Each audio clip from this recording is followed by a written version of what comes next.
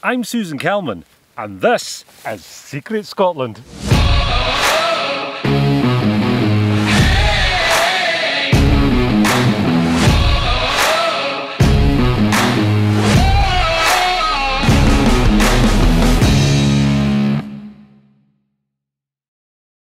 We thought we should probably update you on the very first point of our journey with an epic fail already.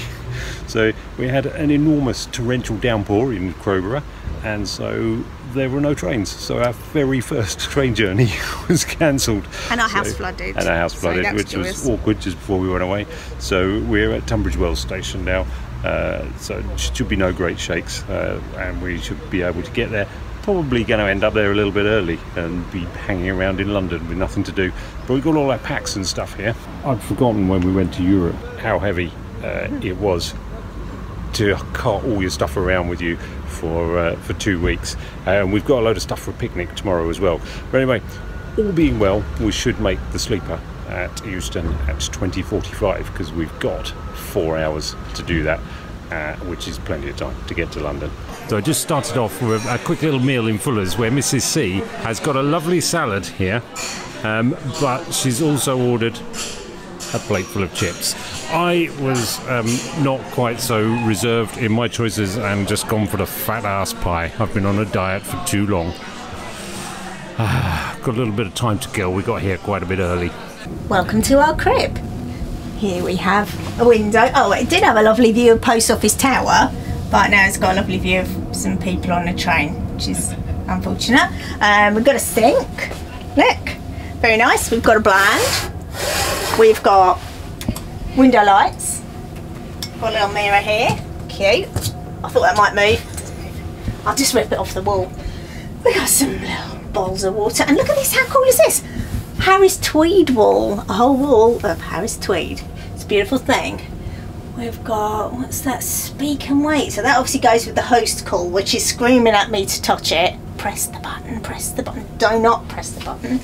Um, we've got lovely Fort William We've got a double bed, guys. We've got a double bed. This is not bunk bed territory. So we've got coat hangers. Oops. We've got another Harris Tweed wall, which I missed. It's a bit big. We've got a little toilet here, which I'm a little bit scared of.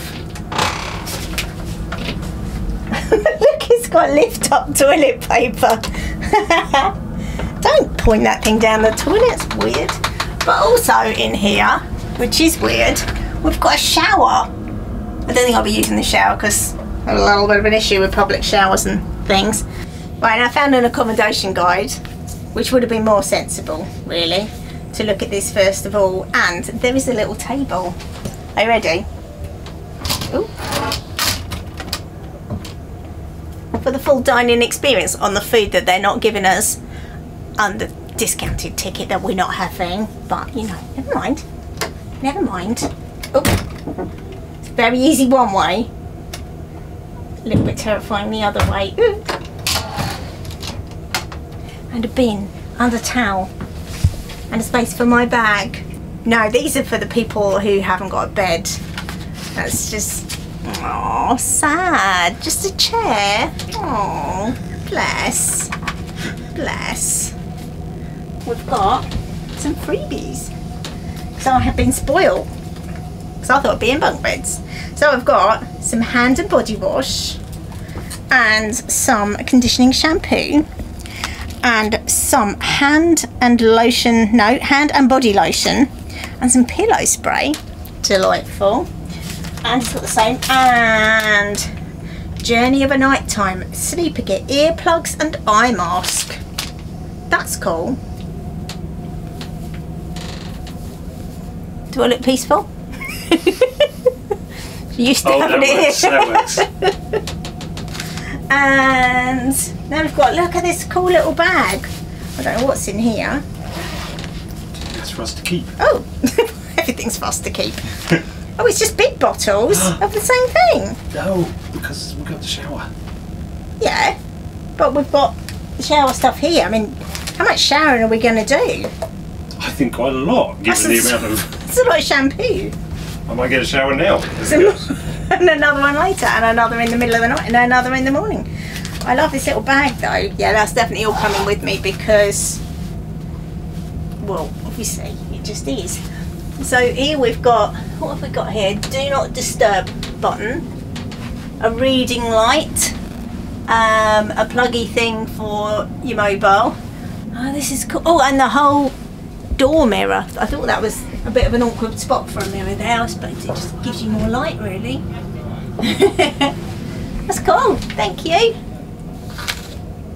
This footage might be a little bit uh, bumpy and jolty because the train is actually moving now, but uh, it's the start of our anniversary and a couple of little surprises. Mrs. C knew pretty much what it was that we were doing on this trip, but Did. you didn't know that we were in one of the fancy rooms, did you? I Did not. On the train. So we've got this uh, awesome sleeper room. There's only uh, two of these types of room on each section of the train, so uh, we were really lucky, and now I'm so poor.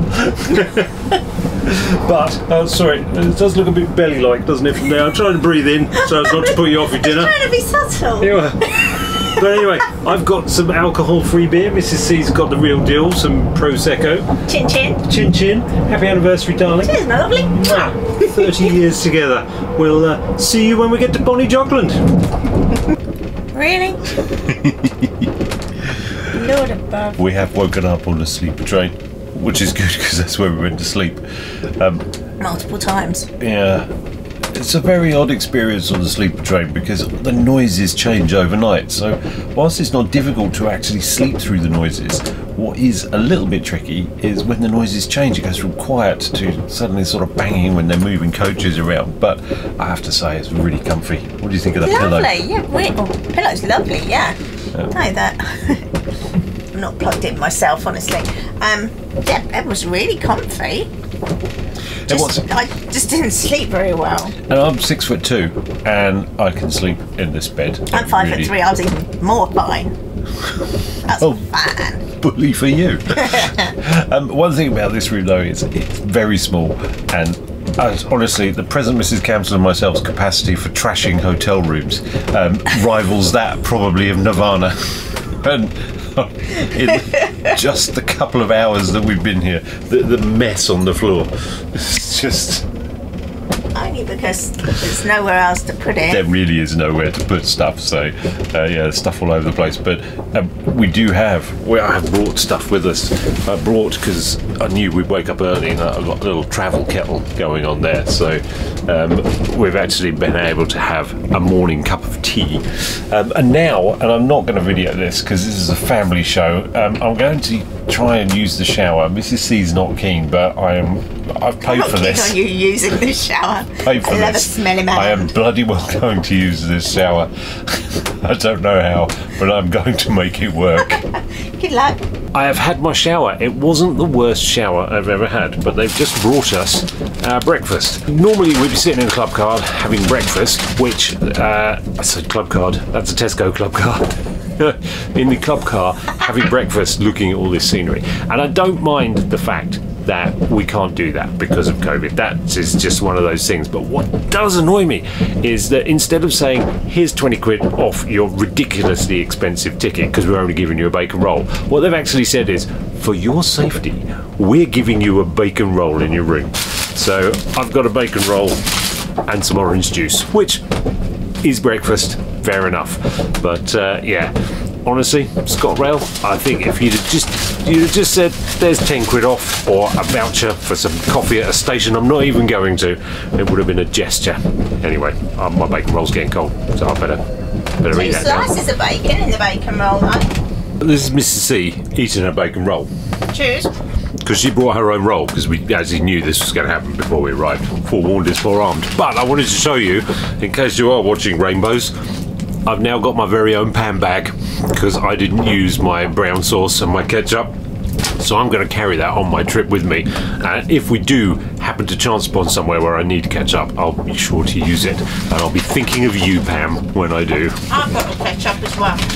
I'm pretty good my knife and fork. You rip my piece to camera again. Huh? Oh, This is oh, his voice off to the side. I've got one. I like being the voice of the side.